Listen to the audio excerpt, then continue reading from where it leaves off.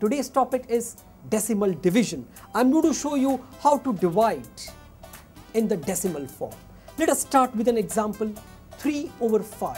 How do you write this in decimal? So, if you have 3 divided by 5, all you have to do is make this denominator 10.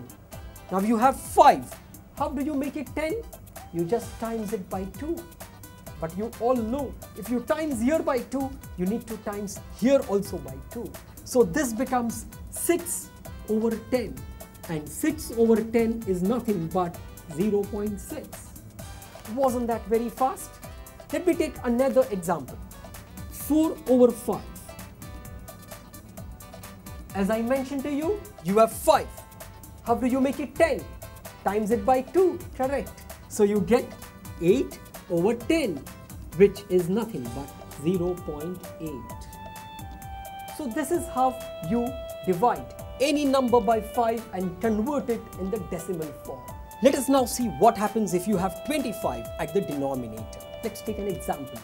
3 over 25.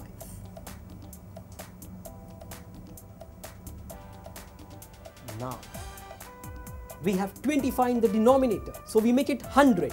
How do you make it 100? Simple, times it by 4, correct. So 3 times 4 is 12, 25 times 4 is 100 and 12 over 100 is 0.12. Let's take another example. 5 over 25. This is 25. How do you make it 100? Times it by 4. So 5 times 4 is 20 20 over 100 which gives you 0.20. So you saw how easy it is to divide by 25. And now we will learn how to divide by 50. Let's now see what happens when you have 50 at the denominator. Let me take an example. 23 divided by 50. Now, because you have 50, what will you do? you will make it 100. And how do you make it 100?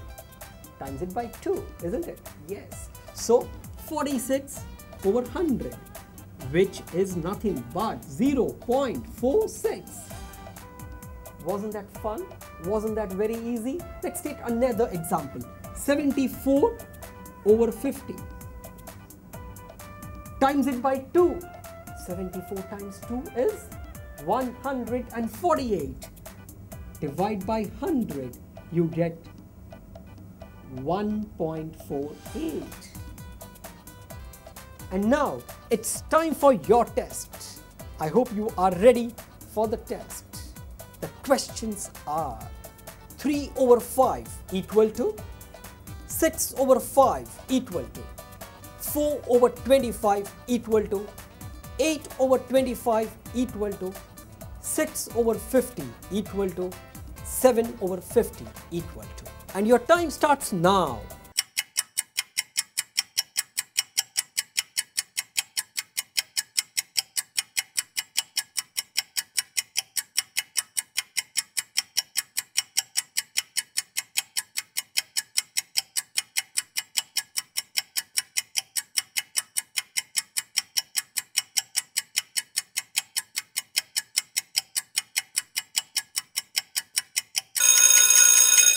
Time completed. And let's check the answers. First answer 0.6, second one 1.2, third one 0.16, next one 0.32, next one 0.12 and the last one 0.14.